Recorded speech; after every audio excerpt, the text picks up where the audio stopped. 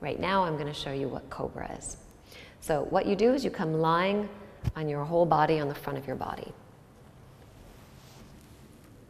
Your hands are palms down, slightly forward in front of your shoulders. You take your pubic bone and you dig it into the ground. Your toes are spread, they're awake and spread.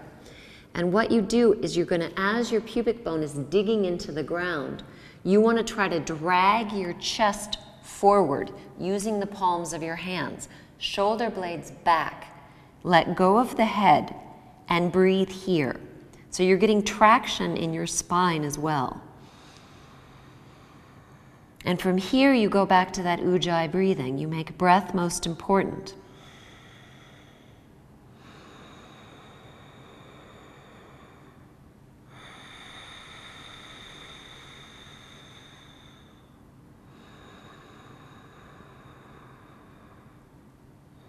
Exhale, bring your forehead down to the ground.